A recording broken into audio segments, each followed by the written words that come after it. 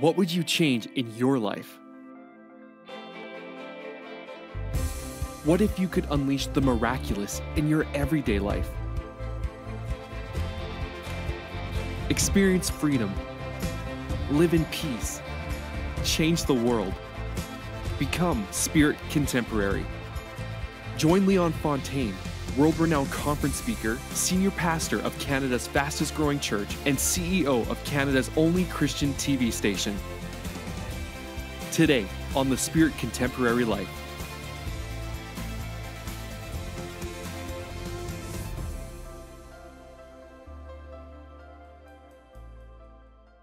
Your sins are not just forgiven, but you have been made alive. You are alive to a place, to a degree that you have never known, that mankind has never known before. In John 10:10, 10, 10, it says that Jesus came to give us life and life more abundantly. So, why is there such a disconnect between this biblical promise and how most Christians live today? Why have so many believers become spiritually weak and ineffective at sharing Jesus' message of love? The Spirit Contemporary Life is the answer. It's being led by Holy Spirit, but in a contemporary way. It's being Jesus and demonstrating His love in ways people can understand and appreciate. Spirit Contemporary is unique for everyone. It never compromises the truth and it never makes others feel uncomfortable. It's freeing yourself from religious constraints and walking freely in God's amazing grace for His purpose. The Spirit Contemporary Life is absolutely crucial if the global church and her people are going to change the world.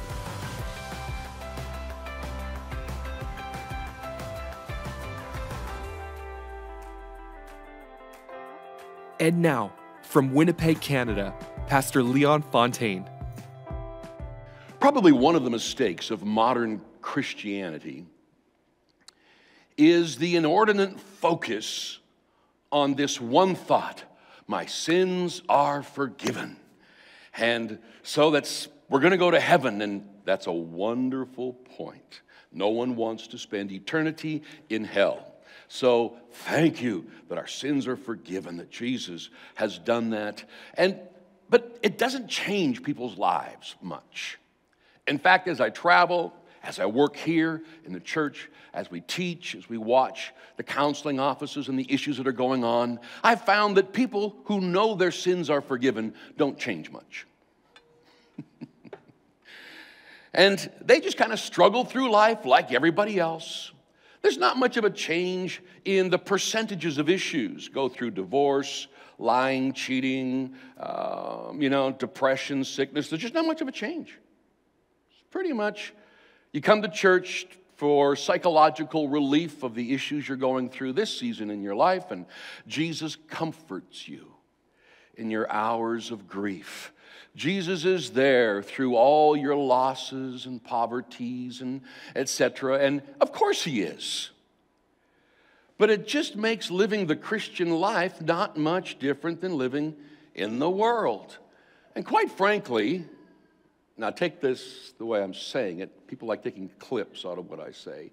I can't think of anything more boring than being a Christian and you've only gone as far as your sins being forgiven. It doesn't do much for your life. I mean, it's amazing for heaven. But on this planet, you walk along season after season, from single to married to family to grandparent, from poor to rich to wealthy, from nobody to somebody and back to nobody, or whatever the seasons of your life are, pretty much nothing changes. And we've never focused on the things that Jesus talks about the most. And that is that your sins are not just forgiven, but you have been made alive.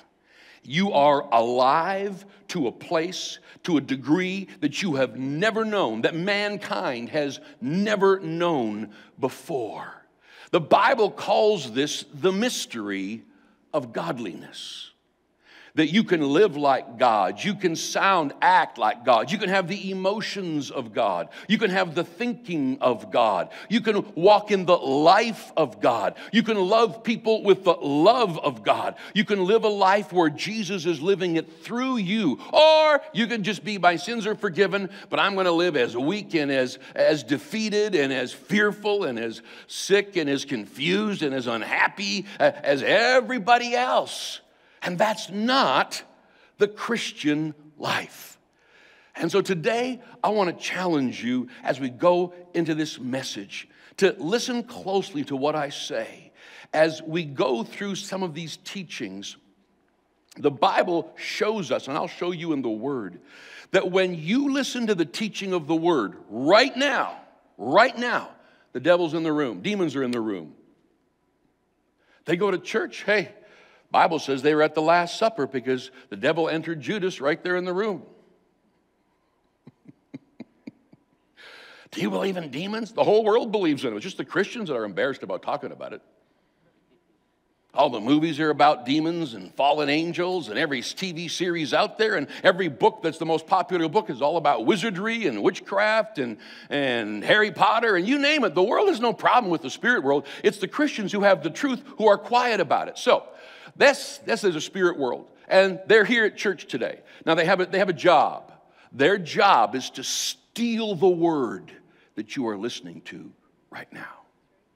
Their job is to take your attention away. Their job is to move your mind off of the teaching of the word. I'm going to show you why that is so crucial. They do not want the word of God to all of a sudden impact you where you reach out with your mind and your will and you grab a teaching and you pull it in because all of a sudden everything changes.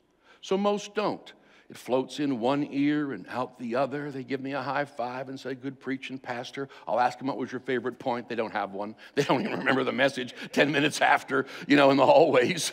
Sorry, I'll use it. I've done that with. But if you do not begin to understand this process, not much is going to change. And so today, this is a life message that I'm showing you.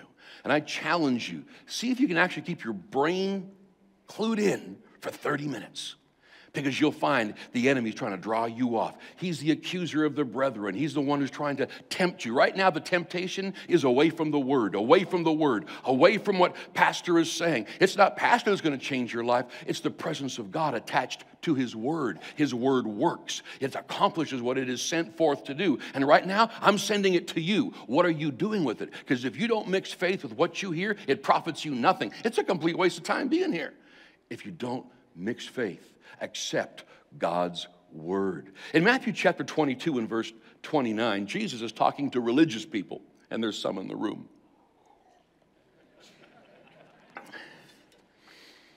And he says, You err, not knowing the scriptures nor the power of God. You err, not knowing the scriptures nor the power of God. Now, there's a whole ton of stuff in here. Let me just pull out a couple points. Where you will have errors in life, where you will make mistakes in life, is where you don't know the scripture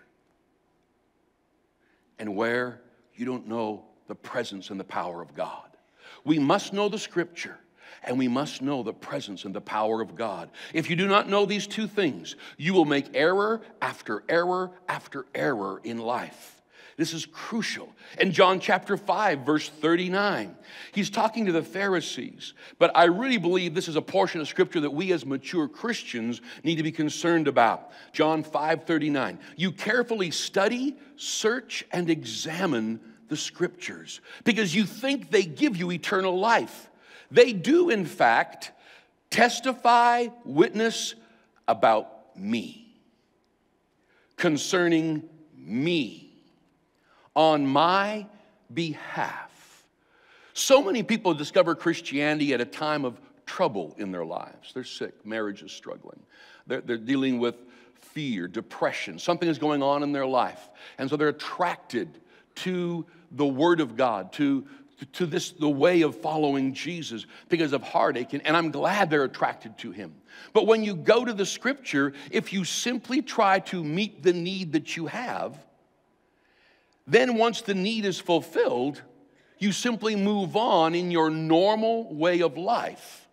And you don't you miss the entire purpose is that you're not you shouldn't be looking for the, the, the life that is in healing or prosperity or peace but you should be looking for the life giver jesus and to some of you mature saints that are here that your life does not differ much from your unsaved friends and family and other than you get to go to heaven and you're secure in that fact you your sins are forgiven.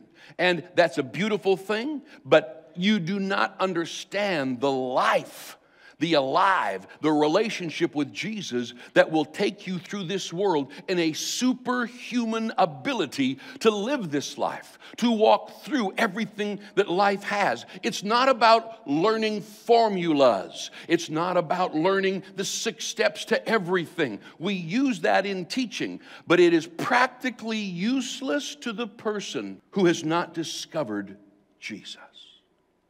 It's about Jesus. Jesus is talking to the most learned men of the Bible. And he says, you, you know the scripture, and the scripture talks about me. And here I am, and you don't even recognize me. How ridiculous is that? But you know, today I noticed the same thing. We've got Christians who think that who you vote for, every Christian should be voting over here. We've got Christians who think that if you're a Christian, that you should be over here. You should be caring about the political thing. You should be, and when you follow the life of Jesus, his entire purpose was to please God. Even a lot of the good things you do, I wonder if they're God things. Some of you are praying about God's will, and every time some good thing opens a door, you think it's God. Good things don't mean they're God things for your life. The direction for your life has been decided year, centuries ago because He's created paths for you to follow, that you should walk in them, you individually. And Christians get caught up in all the, the, the, the, the good things to do. It was a struggle that I had in my life years ago as, as springs begin to, begin to you know, get get territory and ground, and people begin to come out, and, and we, to, we begin to pack out buildings and stuff. All of a sudden, there was a hundred good things that we should be involved in. Every parachurch ministry out there that you need to be concerned about, and then make the list. Uh, from abortions to single moms to the government to this to uh, and we are concerned about all of them But to do them all would bankrupt us in one month.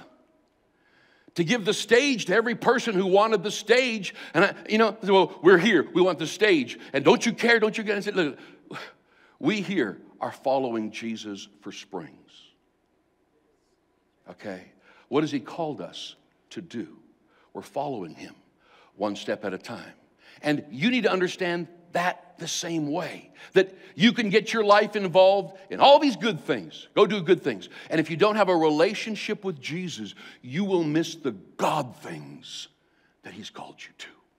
You'll get all wrapped up in, you know, it's interesting. I'm not, I'm not going to preach on this, but it's interesting that Jesus not once took a pot shot at the government, and the government was one mess of a government. I mean, killing, stealing, dominating. Rome was dominating. The, Jesus never raised a bunch of people up and went after the political realm. I'm not saying you shouldn't vote, absolutely. I'm just saying that as Christians, we get going on things we get going on where things aren't going good. We've got to go after and help the marginalized people, of course. We've got to go after and help this group, that, of course, of course. But, but your purpose isn't that. Your purpose is to follow Jesus.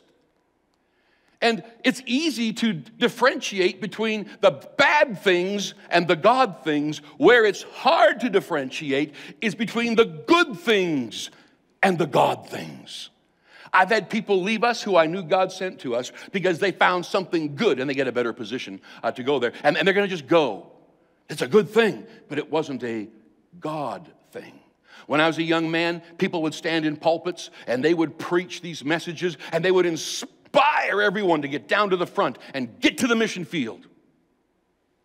I mean, I watch altars fill up everywhere I went at camps and youth ministries, and our church speakers would come in, and, and the Bible says, Go into the world and preach the gospel. What do you do? And it was, and they would just guilt you and motivate you, and with tears we would fall down.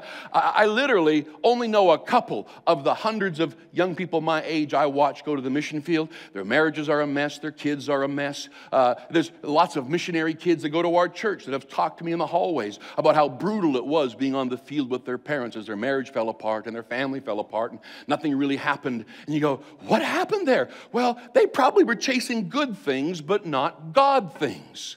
They probably were, being motivated by somebody else than motivated by the Spirit of God. And so it's crucial for you to know God. One of the things that has kept Springs Church healthy is I refuse to tell you what to do.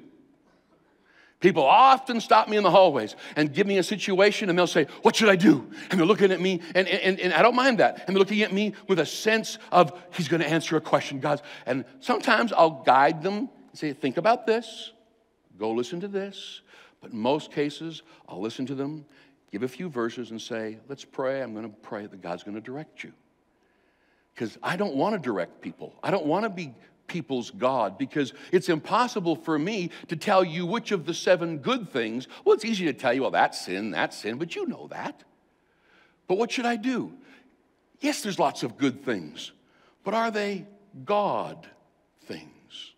And so I want to challenge you that John 5 39, Jesus is talking to people who are know the word, and he's you carefully study, you search the scriptures. You're looking for eternal life. Now, when they say looking for eternal life, the word eternal life does not just mean the length of life, it's also the quality of life. Zoe life. Everyone's looking for a quality of life. Everybody here wants a better marriage, including me. Are you admitting that? Are you kidding me? I'm working on everything. I want to be a better father, better grandfather, better husband. I want to be a better pastor. I want to handle finances. We all should be growing and leading. So it says, you want this life, but you didn't find me, Jesus said. Here I am. And you're missing this relationship for a whole bunch of trying to find life in areas of your life. The word's very interesting because if you do not discover Jesus, if you do not build a relationship with Jesus, you are simply another religious person. If you believed on him, you get to go to heaven. But other than that, give me a Buddhist, give me a Hindu, give me you, not much difference.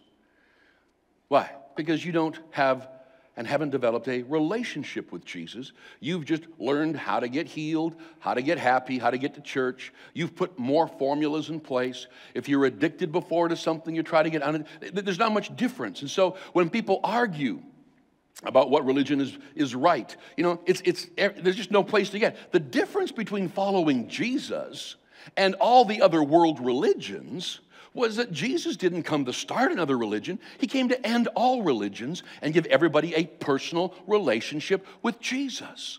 Discover Jesus. Dis- discover a relationship with Jesus. How do we do that? In Mark chapter 4, speaking to mature believers today, and if is that there's a, a talk there that Jesus is teaching a parable. And he says, if you do not understand this parable, you will understand no other parables. That makes Mark 4 a key to the entire New Testament of parables. If you do not understand the parable in Mark chapter 4, you will struggle with all parables. The parable in Mark chapter 4 is the one where Jesus says he is that the sower sows the word. And then it says, remember, some are on the pathway, some go into shallow soil, some go into thistles and thorns. And so it says the birds of the air come and eat the seed. Then the seed gets choked out. Uh, then the sun scorches other seed. And it talks about how that the cares of this world, the deceitfulness of riches pull us away. And what this entire scripture is talking about is the power of your heart. Your heart is a womb. Sorry, guys, this sounds weird. But your heart is like soil. And you and I were dead because of sin okay, and iniquity. And, and then when Jesus came in and made you alive, this life means your heart is alive and it can produce the Word of God in an incredible way. And so, as you begin to focus on God's Word, and so God's Word is the seed, and your heart is the soil. And when that seed of God's word begins to come into the soil, which is what's happening right now, and there are four kinds of people sitting in this room listening. There are some that, yeah, cool, nice message, wasn't enough stories, it didn't have enough entertainment value in that one. And so the seed just kind of lands on top of the path, and the enemy comes in, which is what the birds of the air are, and they just eat it. Somebody else, that says the soil, the seed gets planted in a heart that is just kind of shallow. You're maybe gonna try Jesus, and, and or maybe you're a believer, but you just kind of try the word and tried it for a couple of days, Pastor. That didn't work. You know, that you're shallow. And when the sun scorches, or when, when, the, when the life begins to push at you, you abandon your teachings and run to anything else that, that will bring you pleasure or relief from the pain that you're going through rather than standing strong with Jesus. Then it says there's other soil that is so full of thorns. And it's the thorns are the deceitfulness of riches and the beliefs that have been planted into you by life, by school, by parents, and by grandparents are in this heart. And as you try that the thorns and the thistles, they just choke God's word out. It literally is saying three quarters of the believers who listen to God's word won't prosper, not because the word doesn't work, but because the soil's not been prepared. And so, if you want to see change this year, it won't be by learning new formulas. It won't be by memorizing new scriptures. It will be by hearing and understanding. And, and for times, let me give you one thought to go through. And in Mark chapter 4, it says here, and those that are planted on good, well adapted soil are the ones who hear the word, receive the word, accept the word, welcome the word, and bear fruit. Now, let me get this point across to you because, you know, you can go as deep as you want. You'll just be another Pharisee in the Christian world. You can go memorize all the scripture, listen to every TV preacher you want, go, go amalgamate all the Greek and Hebrew. You'll just be another Pharisee and Sadducee. But if you want God's word to radically change you, okay, radically change you, then you must hear it. Then you must receive it. Now, how do you receive God's word? It is a choice that goes even in my messed up head and my inability to pay attention like I want to. I receive your word, Father, and you reach out by your own will and you desire God's word. The word accept means to accept it like you are an heir, it's like a son receiving. Receive God's word, accept God's word. Anytime you hear God's word, fight to be disciplined in your attention so that you begin to hear it and you mix faith with what you hear. Then it says God's word comes into your heart and it begins to grow and you're entire. You, if you've given your life to Jesus Christ, you are alive and you can grow God's word at an alarming rate, at a beautiful rate, in an incredible way. And as you hear his word, as during the week you read the word, listen to messages, feed on God's word, you are planting fields. If you could just for a minute imagine you as a farmer looking out over miles, countless miles of beautiful black Chernozem soil, and you begin to plant fields of peace. You begin to plant fields of joy. You begin to plant fields of prosperity. You begin to plant fields of healing. You begin to plant fields of, uh, uh of just walking in a relationship. All of the, that's like your heart.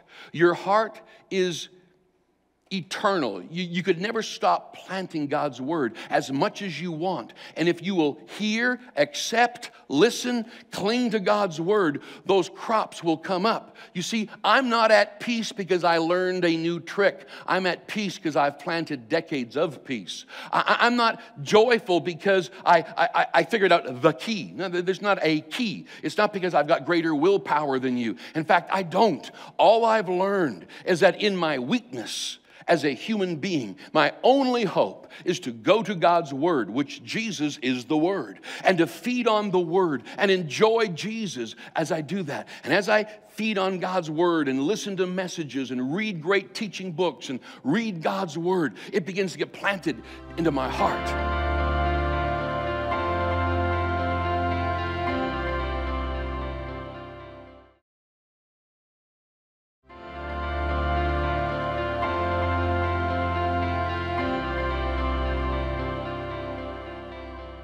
One of the absolute keys to living this Christian life is to be directed by God. So many people want formulas, so many people want uh, something they can follow, a step by step plan. And there's lots of things in life you can do that with, like disciplining yourself with Bible reading. But when it comes to direction from God, the Bible says, My sheep hear my voice. And it says that he leads us by name. There is such a specific guidance from God that it is by name. And so it's crucial to understand, even Romans teaches us that to be sons of God, that we are led by the Spirit of God. And so I want to encourage you, if you never felt like you could be led by God's presence, make sure you begin to believe that and confess that.